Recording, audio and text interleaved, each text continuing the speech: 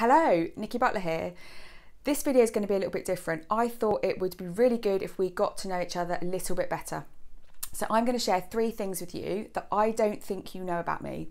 And what I'd like you to do is pop something in the comments that I don't know about you or not many people know about you and we can get to know each other a little bit better. So my number one is at 44 years old, I am still entirely fluent into made up languages that I used to speak to with my best friend at school. They're called Egg Talk and Philligese. I'm not going to give you a demo here, but I will if you ask me really nicely. My number two is I'm actually a qualified personal trainer to GP referral level, uh, a nutrition advisor. And I studied that when I was in my 20s just for fun when I worked for solicitors.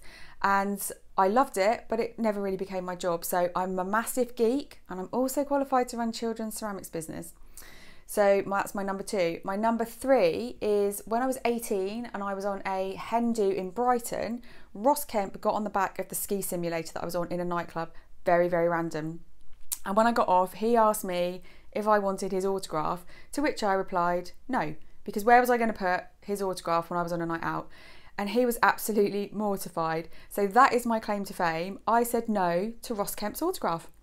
So those are three things that I don't think you will have known about me. So pop your comments below and I cannot wait to see what you share.